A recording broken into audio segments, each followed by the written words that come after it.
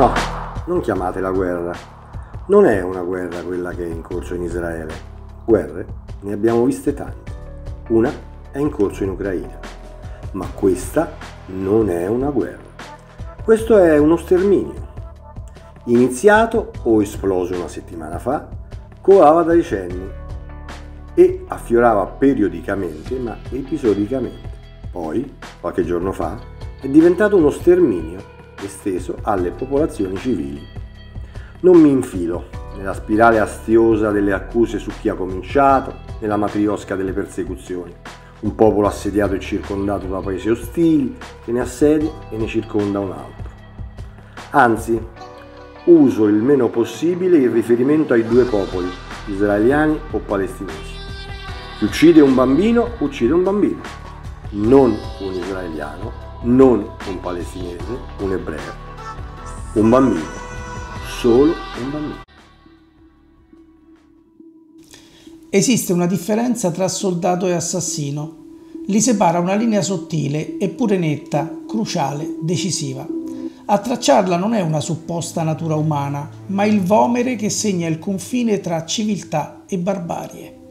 Il vomere che lo traccia e il fucile che lo difende. Questa affermazione sarebbe apparsa ovvia fino a qualche tempo fa, ora non lo è più. Non lo è più da quando in Occidente si sono diffuse forti correnti intellettuali, le quali, spingendo all'eccesso il senso critico che è il motore stesso della nostra civilizzazione, hanno sottoposto a una radicale e spesso sconsiderata revisione i concetti e i valori positivi che ne sono fondamento. I massacri compiuti da Hamas ci riportano alla terribile realtà.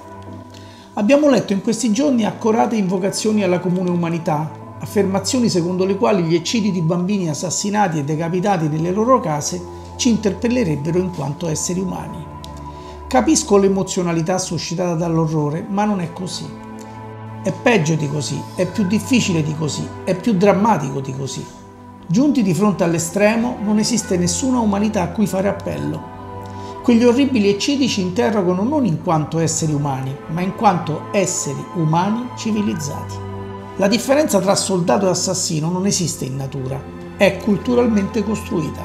Soprattutto non appartiene a tutte le culture, ma è il risultato del lungo, lento, sempre precario processo attraverso il quale la cultura europea ha costruito nel corso dei secoli la propria idea di civilizzazione come perfezionamento graduale dell'umanità. Se per punire uno Stato tu colpisci un popolo e sgozzi innocenti, tu non fai la guerra, ma compi uno sterminio. Se per punire un terrorista tu uccidi la sua famiglia, tu non fai la guerra, né fai giustizia, compi uno sterminio. Se uccidi gente nelle case, mentre dorme, mangia, inerme e spaventata, tu non fai la guerra, fai uno sterminio.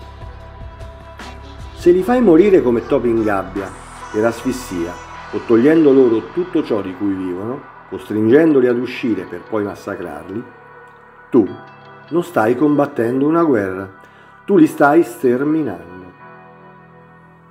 Lo sterminio è il grado peggiore dell'odio e della violenza, più della guerra, perché non combatte contro un nemico, ma elimina tutta l'umanità che si muove all'interno dell'obiettivo.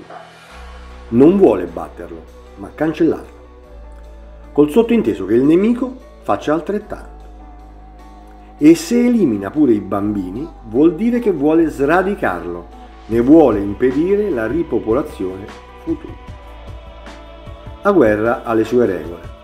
Qui l'unica regola è portare al massimo livello di estensione e crudeltà il male che si vuole fare. L'idea stessa che spinge gli sterminatori non è vincere la guerra, ma è spiantare ed eliminare un popolo, nello sterminio o nella fuga, disperdendolo altrove. Da sempre i guerrieri mozzano ed esibiscono le teste dei nemici, da sempre ne stuprano le donne, da sempre ne uccidono i figli bambini. Anche i nostri antenati lo fecero, anche i nostri antenati soprattutto i popoli di stirpe germanica, elessero a modello il guerriero belluino, la cui forza consisteva proprio nello scatenamento di una ferocia bestiale, capace, nel corso del combattimento, di renderlo simile a una belva. Sono soltanto il cristianesimo e l'ideale cavalleresco ad avviare in Europa occidentale un processo di civilizzazione durato secoli, alla cui scaturigine sta la separazione tra soldato e assassino. Come ci insegnò Norbert Elias, la curializzazione del guerriero, cioè il suo ingentilimento, il suo addomesticamento alla civiltà delle buone maniere dopo la fine delle guerre di religione, fu una tappa fondamentale di questo lungo lavorio storico della nostra cultura. Noi siamo quelli che non mozzano le teste dei nemici, non ne stuprano le donne, non ne uccidono i figli bambini. Soltanto dopo secoli e millenni di ferocia belluina, noi europei ci siamo riconosciuti in queste affermazioni identitarie. Si tratta inoltre di una conquista mai definitiva, smentita moltissime volte dalla nostra storia, anche recente. La barbarie tecnologica nazifascista in pieno Novecento rappresenta purtroppo fra le tante soltanto la più enorme delle smentite. Eppure per quante volte la realtà dei conflitti armati lo abbia smentito, si tratta indubbiamente di un ideale regolativo che ha modificato in profondità il nostro comportamento in guerra, fino al punto di rappresentare un potente fattore identitario. Il consolidamento delle democrazie liberali ha infine contribuito fortemente a rafforzare quell'ideale, colmando significativamente il divario che lo aveva separato troppo spesso dalla realtà. Il peggio, si sa, è il terrorismo, che è guerra ad personam, senza confini né regole, col paradosso che le persone non contano, sono solo bersagli, simboli, categorie. Ma non lo chiamerei male assoluto come fanno in tanti perché neanche nel male l'uomo può farsi assoluto. Il terrorismo è male radicale, forse il male peggiore che ci possa essere, anche se la guerra, muovendo stati e armamenti poderosi, può fare assai più devastazioni di un atto terroristico pur cruento. Poi resta da stabilire fin dove e a chi si possa estendere la definizione di terrorista e se possa riguardare anche stati ed eserciti come si sostiene da qualche tempo. Sul piano umano e personale anche il peggior male ha magari alle sue origini una giustificazione umana, il dolore e la disperazione per i tuoi cari sterminati davanti ai tuoi occhi. Nell'inferno dello sterminio la vendetta è l'ultima traccia di umanità che resta, perché muove da una motivazione in origine comprensibile. La vendetta segna il passaggio dall'umanità alla ferocia è il sentimento che precede e motiva quel diventare disumano. Ora molti di noi si sentono assediati, presi in una tenaglia tra guerra in Ucraina ed ennesima guerra in Medio Oriente. È vero infatti che mai come in questo caso la maggioranza di noi, inermi, pacifici, protetti cittadini dell'Europa occidentale, si è sentita prossima ai cittadini di Israele, quasi che l'orrore abissale ce li abbia resi fratelli dopo decenni di critiche e distinguo ci sentiamo assediati da nemici mortali, proprio perché ostentatamente alieni alla distinzione tra soldato e assassino, tra combattente e torturatore, tanto al confine tra Gaza e Israele quanto in quello tra Russia e Ucraina. È una psicosi da assedio che dura a corrente alternata almeno da quando il secolo cominciò l'11 di settembre del 2001. Sin da allora la propaganda bellica statunitense innalzò a mo' di bandiera la contrapposizione tra guerra e terrorismo. Ricordate le headline delle televisioni all news che proclamavano War vs Terror? Non si limitavano a dire che si preparava una guerra contro il terrorismo, ma che la guerra stessa, se combattuta in piena luce mediatica secondo i canoni della civiltà occidentale, sarebbe stata l'antitesi della abietta, oscura violenza terroristica. Quei proclami non impedirono agli Stati Uniti e ai loro alleati di combattere una guerra profondamente sbagliata e dannosa in Iraq nel 2003 così come l'appartenenza di Israele alla civilizzazione europea non ha impedito allo Stato ebraico di trasgredirne molte volte limiti e valori fondanti. Quanto al pericolo che si scateni una nuova guerra mondiale e al fatto che ci stiamo andando assai vicini, la penso diversamente. Ci siamo andati vicini nei primi anni 90, ai tempi della guerra del Golfo e poi dell'attacco all'Iraq. Ci arrivammo ancora più vicini al tempo delle due torri e di quel che ne seguì tra guerre e terrore. Abbiamo sfiorato il conflitto mondiale pochi mesi fa tra Russia e l'Occidente.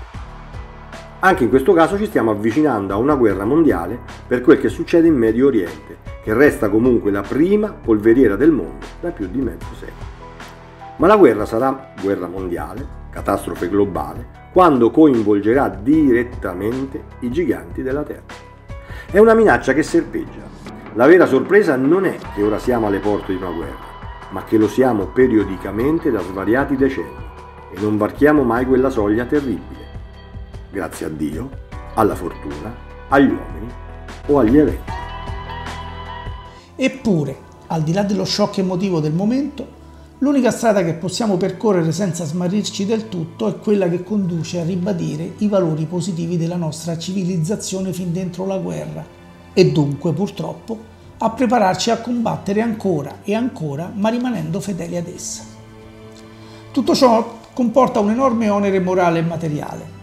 Dobbiamo deporre alcuni sogni della nostra giovinezza riconoscendo innanzitutto che il pacifismo assoluto, figlio di due apocalittiche guerre mondiali, si è rivelato alla lunga un'illusione nociva.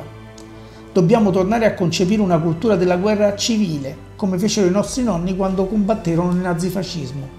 Dobbiamo soprattutto noi europei d'Occidente approntare al più presto una potente forza armata comunitaria che ci consenta in un prossimo futuro, non certo di esportare la nostra idea di civiltà democratica sulla punta delle baionette, ma di difendere il confine tra soldato e assassino quando venga attaccato, ossia il nostro confine. Ma lasciamo sullo sfondo il pericolo della guerra e vediamo quel che c'è davanti a noi, lo sterminio. A volte ti capita per un momento di sentirti lì, dentro l'incubo, per le strade di Israele o di Gaza, senza avere alcuna colpa se non quella di appartenere a quel popolo, di essere nato là e di abitarvi. Appena ti cali in quel luogo ti manca il respiro, ti senti soffocare, vorresti scappare e non si sa da dove, verso dove. Poi ti sorge quel filo di umanissima viltà e ti senti graziato o fortunato perché abiti in un'altra parte della terra, piena di problemi, ma un paradiso rispetto a quell'inferno ma non ti basta scamparla. Ti insorge comunque il dubbio che possa capitare anche a te e ai tuoi cari. E comunque c'è qualcosa che è dentro di te che ti fa sentire partecipe, consorte, solidale a quel destino, da cui non puoi chiamarti del tutto fuori. E sorge un sentimento doloroso di impotenza, in cui l'unico alibi per uscirne è che siamo troppo piccoli, fragili e passeggeri per caricarci di tutte le tragedie del mondo. Non servirebbe a nulla profonderebbe solo noi stessi. Ci siamo a lungo illusi di poter ripudiare la guerra in quanto tale. È stato un nobile ideale, ma spesso nella sua ombra è cresciuta la pianta di una torbida, sanguinosa, sciagurata ipocrisia. Il meglio che si possa fare per il nostro futuro prossimo è di prepararci alla guerra, se necessaria, da soldati civilizzati. Questo significherebbe anche, forse soprattutto, metterci nella condizione di rimanere neutrali quando fossimo chiamati a un conflitto in cui non ci riconosciamo. Si tratta niente meno che di farci legittimi eredi della parte migliore della nostra storia, ribadendo che noi siamo quelli che non mozzano teste, non stuprano, non uccidono bambini, ma se necessario combattono. Ma l'orrore c'è, resta negli occhi e pure dentro. Basta affacciarsi alla finestra, in forma di video, per rendercene conto. Poi pensi ad altro, capisci che nel mondo ci sono mille altre cose e noi abitiamo tanti mondi con la memoria, con la fantasia, con la natura, con la speranza, con l'amore per la vita e per l'eterno. C'è vita oltre lo sterminio ed è più grande del male.